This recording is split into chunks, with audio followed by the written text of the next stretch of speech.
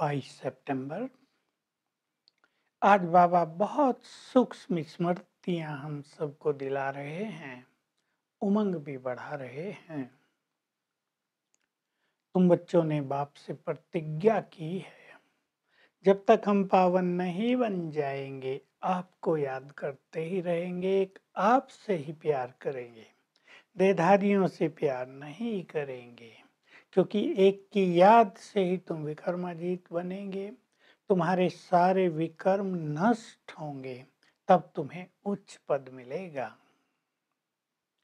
दूसरी बात बाबा कर रहे हैं कि जो समझदार बच्चे हैं, उन्हें हमेशा एक लक्ष्य रहता है, लगन रहती है कि हम ये देह छोड़ें, बाबा के पास जाएँ हम जल्दी जल्दी कर्मातीत बने, अपने घर पहुँचे कर्मातीत होकर। जिस भगवान को बुलाया था, अब उससे मिलन हुआ है। अब उसके साथ घर चलें। बाबा कह रहे, बच्चे, तुम्हें रास्ता मिला है अब। तुम्हें घर का रास्ता मिला है। मैंने आकर तुम्हें रास्ता बताया है। अब मैं तो हूँ निराकार। जगत का पिता, जगत का शिक्षक और जगत का सदगुरु हूँ, ज्ञान का सागर हूँ। तो मुझे तुम्हें ज्ञान देना है तो कैसे दूँगा? तो ज़रूर एक शरीर में आकर ज्ञान दूँगा। वो शरीर है ब्रह्मा का। इसको मैंने अडॉप्ट किया। तुम्हें आकर इसके द्वारा ज्ञान दे रहा हूँ। तुम सबने भी शरीरों में प्रवेश किया है, तुम्हारा पुनर्जन्म होता है। मेरा ये जन्म पूरा अलौकिक है। मैं सृष्टि को पावन करने के लिए आता हूँ।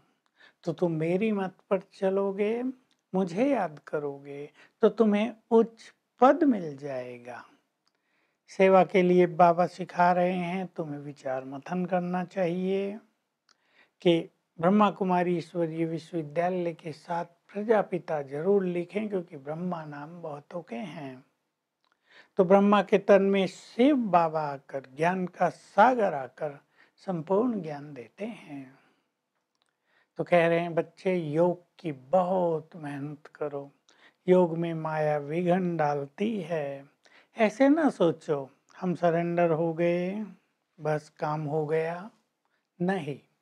अगर तुम विकर्माजीत न बने, अगर तुम बहुत याद नहीं करेंगे तो तुम्हें विश्व की बादशाही कैसे मिलेगी? बहुतों को पुण्यात्माओं बनाओ। ये अहंकार न रखो कि हम तो सरेंडर हो गए हैं। सरेंडर होकर यदि उच्च पुरुषार्थ न किया तो दास दासी बनना पड़ेगा। सभी दास दासी बाबा कह रहे श्री कृष्ण के साथ थोड़ा ही झूले में झूलेंगे तो झुलाने वाले होंगे। इससे तो अच्छा है, साहूकार प्रजा बनो। तो बाबा उमंग दिला रहे हैं कि केवल सरेंडर होने से काम नहीं चलेगा। योग युक्त होने का अच्छा अभ्यास करना होगा। तुम्हें ये संकल्प रहता है। अब बाबा ने आकर हमें योग सिखाया है।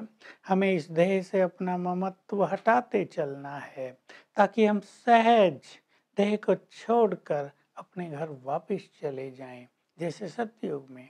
अकाले मृत्यु नहीं होती। मृत्यु का भान ही नहीं होता। एक शरीर छोड़ा, दूसरा ले लिया। ऐसे ही तुम्हारी स्थिति हो जाएगी। अभ्यास करते करते तुम सहज ही शरीर रूपी खाल को छोड़कर घर वापस चले जाओगे। तो तुम्हें लक्ष्य रखना है कि अंत में एक के सिवाय किसी की याद न रहे। यह सर्वश्रेष्ठ प्राप्ति। तब तुम्हें राजाई मिलेगी। बहुत अच्छी मेहनत की बात है ये। तुम्हें कर्मातीत होना है। तुम्हारी कर्मातीत अवस्था से विनाश का गहरा संबंध है। जब तक तुम कर्मातीत नहीं हुए, विनाश होगा नहीं, भले अखबारों में, टीवी पर तो ऐसे समाचार आते रहते हैं जैसे अभी विश्व छुड़ा, छिड़ा की छिड़ा, लेकिन अभी नहीं। तुम्हारा राज स्थापित हो जाए। तुम कर्मातीत हो जाएँ। सारे विक्रम विनाश हो जाएँ, तब विनाश होगा। तुम्हें अब रास्ता मिला है। कैसा रास्ता? विश्व को पावन कैसे बनाएँ? देखिए, बहुत बड़ी चीज़ है।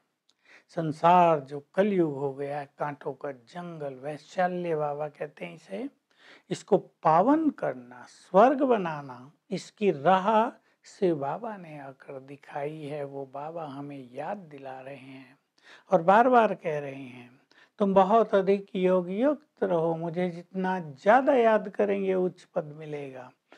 कम याद करेंगे, कम पद मिलेगा। बाबा बहुत अच्छी, सुंदर, भविष्यवाणी जैसी कर रहे हैं। ऐसे बच्चे भी आएँगे जो चलते फिरते, उठते बैठते बाबा को याद करेंगे, आगे निकल जाएँगे। तुम्हें भोजन बनाते, भोजन खाते, घर के कामकाज करते। याद में रहना है योग युक्त रहना है। इससे तुम्हारी स्थिति अच्छी बनती जाएगी, तुम पावन बनते जाएँगे, तुम्हारे विक्रम नष्ट होते जाएँगे और ये दुनिया भी पावन बनती जाएगी। बाबा कह रहे हैं, ये ड्रामा अविनाशी चलता रहता है। तुम्हारा सबका पार्ट भी इसमें अविनाशी है। और गहरी बात, तुम आत्माओं के अंदर जो पार्ट भरा हुआ है, वो भी अविनाशी है, वो कभी समाप्त नहीं होता। तुम पार्ट बजाते आए हो। अब मैंने तुम्हें कहा है, घर ग्रस्त में रहते हुए पावन बनो। यही बहादुरी है तुम्हारी।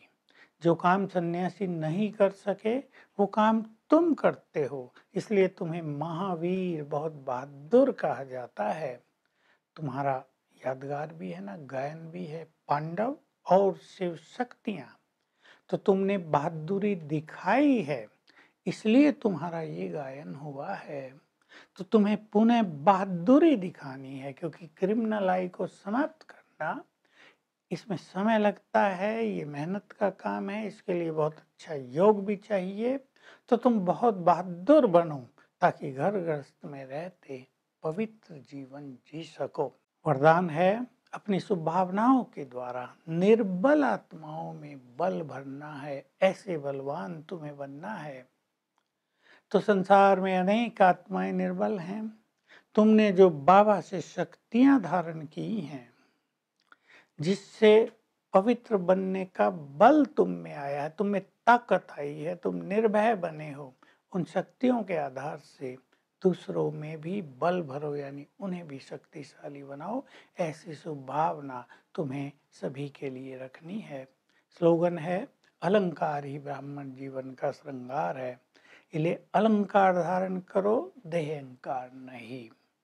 तो आज सारा दिन हम याद रखेंगे, मैं परम पवित्र आत्मा हूँ और सर्व शक्तिवान से शक्तियाँ लेते रहेंगे ताकि शक्ति लेकर हम बहुत महावीर बन जाएँ। Om Shanti. To watch Peace of Mind channel videos on YouTube subscribe us on YouTube dot com slash TV Peace of Mind just a click for a peaceful life